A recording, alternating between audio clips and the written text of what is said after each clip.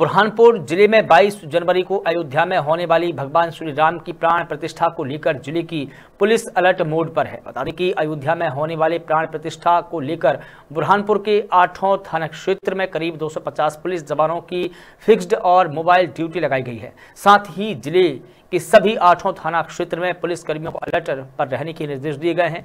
बुरहानपुर से गोपाल देवकर की report.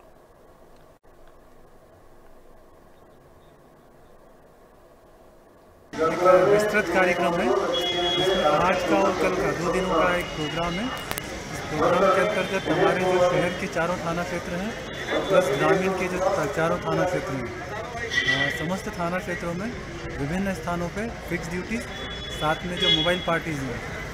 Fix duties के अलावा जो मोबाइल पार्टीज़ हैं तो ये लगाई जा रही हैं। कितने जवान कितने जवानों की ड्यूटी लगाई जा रही है? लगभग ढाई सौ जवानों की ड्यूटी अलग अलग क्षेत्रों में लगाई जा रही है, जिसमें शहर के भी हैं, जिसमें ग्रामीण के भी हैं, आटो थाना क्षेत्र इसमें शामिल हैं।